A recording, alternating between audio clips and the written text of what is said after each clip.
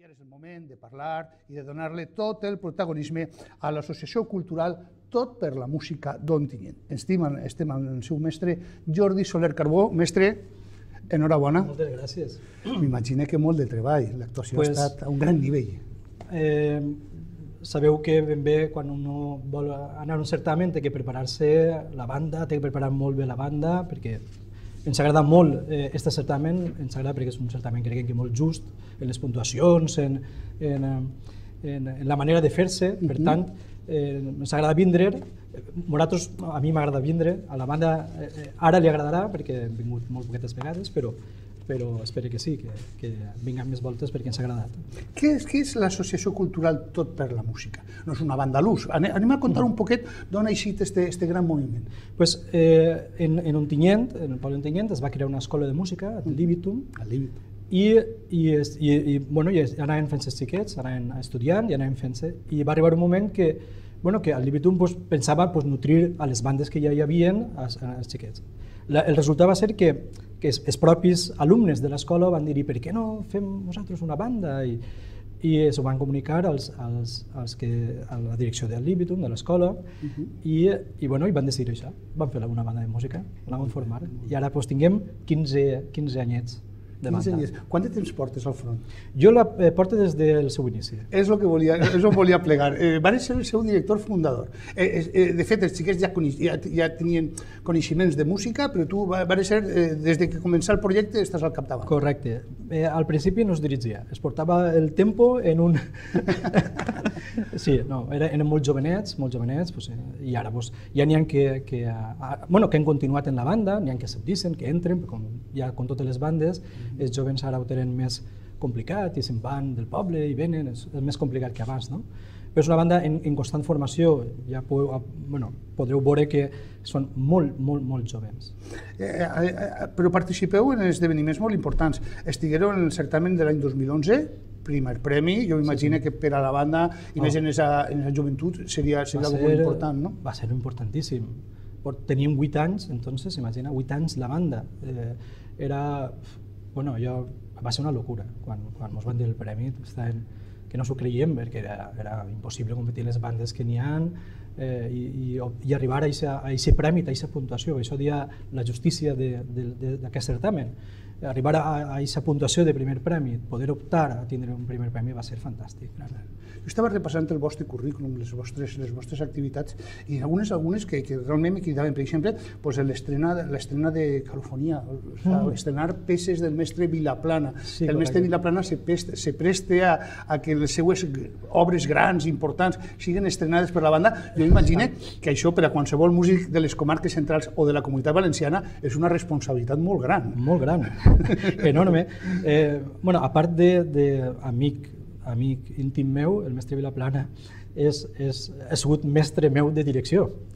I ell es va apadrinar en el primer concert, ens va apadrinar i va vindre al primer concert nostre que vam fer i ens va dirigir també, va, tenir l'honor de que ens apadrinara i que ens dirigirà. Bueno, I hem entès una relació eh, fantàstica amb, amb ell i, i, en fi, i, eh, i en el 10 aniversari va vindre, bueno, mos va, va participar en tota la festa del 10 aniversari, va tenir una relació molt, molt fantàstica amb ell. I Calofonia pues, la van estrenar pues, per, per, per un cúmul de d'amistats i cir- circumstàncies, amistat en, el, en Luis González, el trompeta que va vindre i mos va, va tocar, eh, amistat en, en José Rafael, va vindre i mos va dirigir damunt, que va ser, eh, bueno, ja arredonir-ho tot, vaja, va ser arredonir-ho tot. Ja plega 2017, m'imagino, i ja comenceu a... Sí, si anem al certamen, perquè crec que l'any passat ja quedareu en la plaça reservada. Correcte, ser? sí, sí, sí. I, però bueno, normalment, normalment el que sol passar és que quan aplega el moment, esa, esa, esa, esa reserva no se sol ex- executar. Moltes vegades el món de la societat ha canviat, però vosaltres sí, vosaltres teniu plaça i, i, i volíeu participar. Volíem no? participar, sí.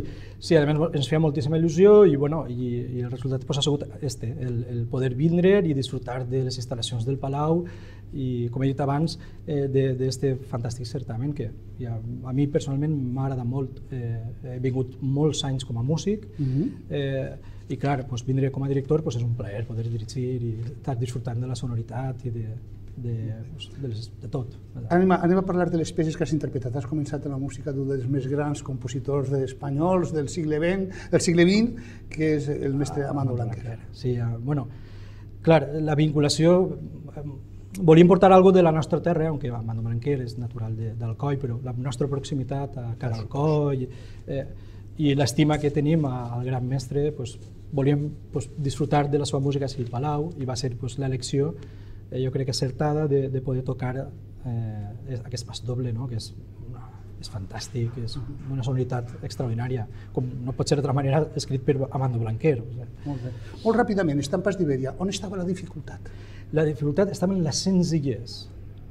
Eh, el poder tocar algo tan senzill i donar eh, creativitat, musicalitat, eh, eh, dinàmiques eh, i traure allò que, que no està escrit en el paper, sinó que està escrit en la música, mm -hmm. és, ahir venia molt la dificultat. Molt bé. I després eh, haveu demostrat la vostra versatilitat. Una sí. peça absolutament diferent d'un compositor de les vostres terres, ah, Carlos Pellicer. Estimadíssim per mi, el, el mestre Carlos eh, Pellicer, bueno, l'estime moltíssim, companys, molts anys es coneguem, és un compositor extraordinari, com podreu haver escoltat, la, la peça és fantàstica.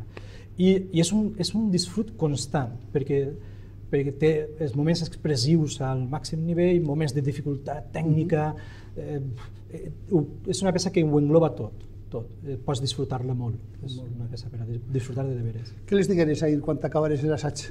Oh, es vas dir, tot?